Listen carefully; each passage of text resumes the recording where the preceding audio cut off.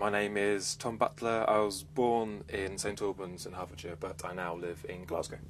I find it very hard to describe uh, the music I write in any in any detail, uh, mainly because um, each work I write, I try and make sure that it each has its own little universe, and own little world, um, which could be different from another piece I write, uh, and therefore they're all hopefully a bit different, although probably feel like they're from the same same family. The name of my shortlisted work is Haar Music, um, whereas quite a few of my pieces are kind of they grow from kind of abstract thoughts in my own head.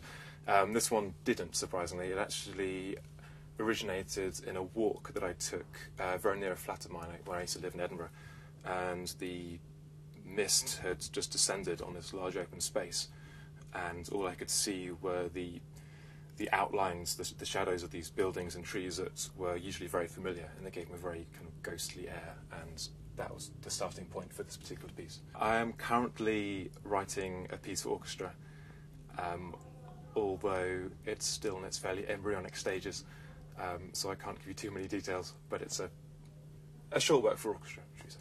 Many things outside music uh, obviously interest me um, the visual arts, have a passing interest in architecture, etc.